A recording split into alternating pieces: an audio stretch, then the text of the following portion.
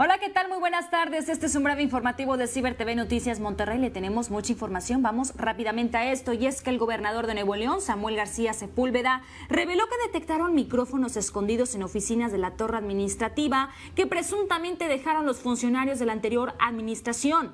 Mediante sus historias de Instagram, el mandatario reveló que en el piso 26, donde operaba la Secretaría de Desarrollo Sustentable, los trabajadores que llegan a sus nuevos cargos detectaron estas irregularidades.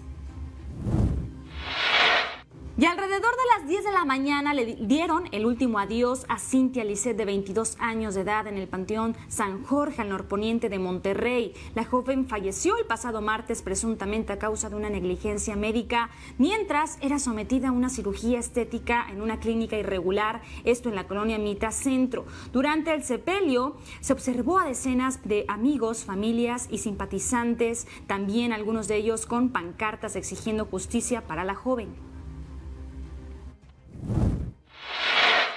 Y el Grupo de Coordinación Estatal para la Construcción de la Paz en Tamaulipas informa que el personal militar y de la Guardia Nacional detectaron la noche de ayer tres tractocamiones con seis contenedores refrigerados largos en los que eran transportadas 152 personas en calidad de migrantes, de los cuales 355 son menores de edad, muchos de ellos solos.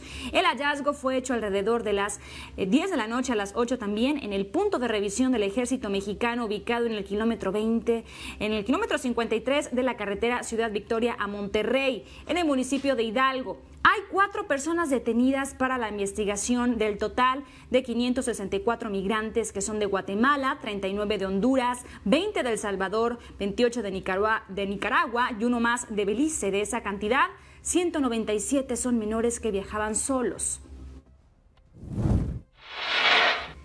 Y Fernando Manuel N., el Panther, presunto líder operativo del cártel de Santa Rosa de Lima, fue capturado y quedará a disposición de las autoridades federales. Así lo dio a conocer la Fiscalía General del Estado de Guanajuato. Luego de la coordinación entre autoridades federales y estatales, se dio con la ubicación y se logró la captura del capo, quien cuenta con múltiples órdenes de aprehensión por diversos delitos. Al momento de su detención, se le aseguró un arma de fuego larga y diversos cartuchos útiles de armas de grueso poder. Veremos en los espectáculos con Poncho Pérez.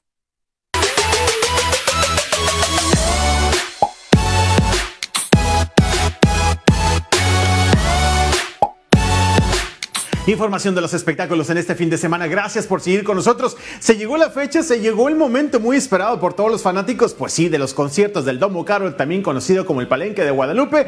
Y es que justamente este fin de semana, este recinto que estamos viendo en pantalla, reabre sus puertas para presentarnos una gran cartelera de cantantes, de artistas, de toda la variedad que nosotros nos gusta, la verdad, ver. Después de más de un año y medio de pandemia, bueno, pues justamente se reactiva este fin de semana. ¿Con quién? Con Grupo Pesado, esta agrupación que vale lo que pesa que es lo que estamos viendo en pantalla o a quienes estamos viendo en pantalla. Y bueno, pues obviamente muy felices todo el público regiomontano y el público que también visitará la Sultana del Norte solamente para disfrutar de estos conciertos que llegan como parte de la gran cartelera que estará llegando ya en eventos que han reabierto o que están a punto de reabrir porque llegan también festivales, llega también Palco Tecate. De verdad es que la cartelera de espectáculos será bastante variada. Pero este fin de semana, ya lo sabe, pesado 8 y 9 de octubre, por supuesto que estaremos pendientes para el próximo lunes, darle todo los detalles de lo que ocurre con esta agrupación que recientemente estuvo dando entrevistas hablando de este regreso aquí en este recinto en la Sultana del Norte. Así que pendientes, este fin de semana arranca el Domocare con Grupo Pesado. Estaremos al pendiente y por supuesto que la próxima semana todos los detalles, información de los espectáculos. Que tenga un excelente fin de semana.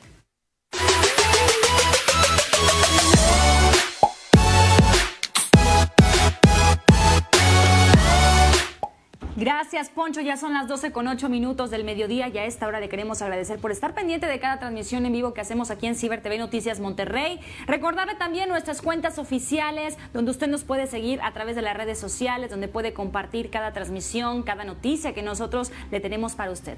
Que pase un excelente fin de semana. Nos vemos.